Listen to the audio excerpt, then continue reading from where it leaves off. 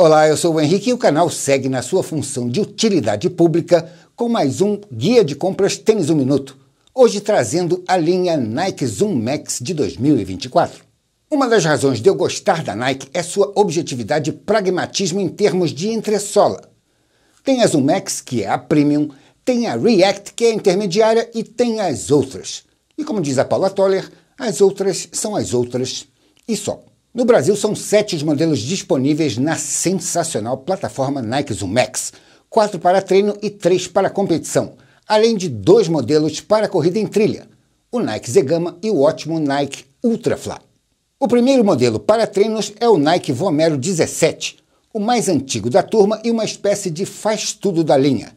É bom, mas é muito caro. Em seguida vem o Nike Pegasus Turbo, recém-lançado que eu acho excelente para treinos de curta e média distância mas eu acho que não pegou. Em seguida vem o Nike Invincible 3, um dos melhores tênis de amortecimento para longas distâncias que existe no mercado.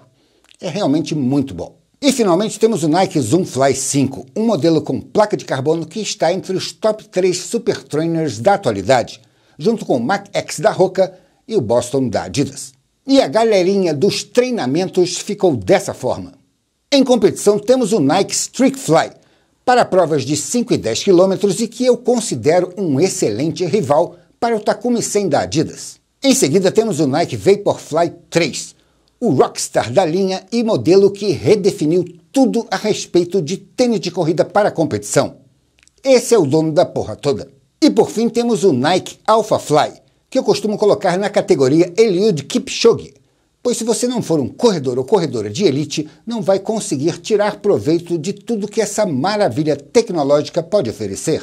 E a turminha das provas ficou dessa forma. Pegou a visão?